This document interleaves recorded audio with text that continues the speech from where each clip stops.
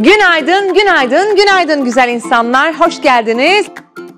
Hafta içi her gün yayınlanan lezzetli sohbetlerin yarınki bölümünde Kanivar Bakır, ilişkiler konusuyla sizlerle buluşuyor. İlişkilerin öneminin konuşulacağı ve komşuluk, kardeşlik, aile, karı koca, çocuk ebeveyn ilişkilerinin inceleneceği bu bölüm yepyeni yemek tarifi ve ilahilerle yarın saat 12'de canlı yayında Sat 7 Türk ekranları ve sosyal medya platformlarında.